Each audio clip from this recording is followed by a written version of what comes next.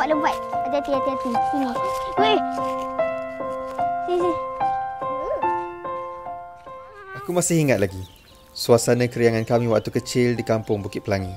Memang sangat indah. Ini aku, Adam. Orang kata aku nampak baik, nampak lurus. Sebab tu tak ada seorang pun percaya yang aku ni nakal. Ini pula Maya. Satu-satunya kawan rapat aku sejak kecil. Bila kami dah mula keluar bermain, habis seluruh pelosok kampung kami jelajah. Dia ni adalah budak perempuan paling degil pernah aku jumpa. Kalau dia nak sesuatu tu, dia pasti akan makan. Pernah sekali tu, Maya membuatkan aku curi aiskrim dekat kedai Pak Mat sebab mak dia tak nak belikan untuk dia. Dan aku pula waktu tu nak tunjuk hero sangat siap dua batang aiskrim aku curi. Sudahnya Pak Mat kejar kami keliling kampung. Memang nakal.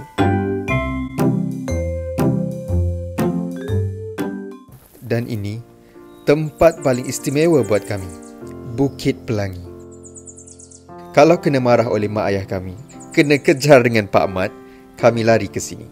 Setiap keindahan alam yang ada dekat sini kami pakukan dalam hati kami dan kami mula terbangkan angan-angan kami. Masa berlalu begitu pantas. Kami kini dengan kehidupan kami masing-masing.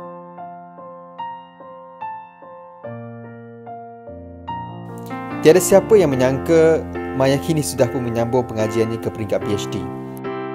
Hari ini, setelah agak lama tidak bertemu, Maya menghubungi aku semula untuk menemaninya pulang ke Bukit Pelangi. Kerana dia ingin menjalankan kajian PhD-nya berkaitan alam sekitar dan pokok-pokok. Dah agak lama sebenarnya kami tak pulang kemari. Kalaupun balik, hanya musim perayaan je. Nak dijadikan cerita, kami bertembung dengan Pak Mat waktu tu. Dia masih ingat lagi kamilah dua budak nakal dulu tu. Tapi melalui Pak Mat ni lah, kami mendengar pelbagai cerita perubahan dekat kampung ni termasuk di Bukit Pelangi ni. Kata Pak Mat, dah banyak sangat pembangunan yang dilakukan dekat kampung ni sampaikan ada yang merosakkan alam semula jadi.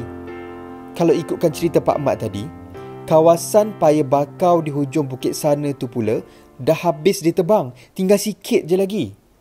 Ikan-ikan yang selalu dia tangkap dekat kawasan tu pun sekarang ni dah tak ada. Lebih malang lagi, rupanya hujung tahun lepas telah berlaku kejadian tanah runtuh yang melibatkan Bukit Pelangi ni sendiri sehingga merosakkan rumah Mak Jah di kaki bukit ni. Sebelum ni kejadian macam ni tak pernah berlaku. Dengarnya, semua ni berlaku disebabkan banyak sangat penebangan pokok di bukit ni. Pertemuan dengan Pak Mat ini membuatkan kami berfikir panjang. Apa akan jadi sekiranya lagi banyak pembangunan yang tak dikawal dan tak dirancang? Aku belajar sesuatu hari ini. Kita bukan menolak pembangunan, tapi semuanya perlulah dirancang dan kita perlulah lestarikan alam semula jadi ni demi memastikan pembangunan masa depannya mapan untuk sekian kalinya. Hari ini aku dan Maya menerbangkan sekali lagi impian kami. Kali ini untuk alam semula jadi ini. Agar kembali bersinar bagaikan pelangi yang muncul selepas hujan yang lebat.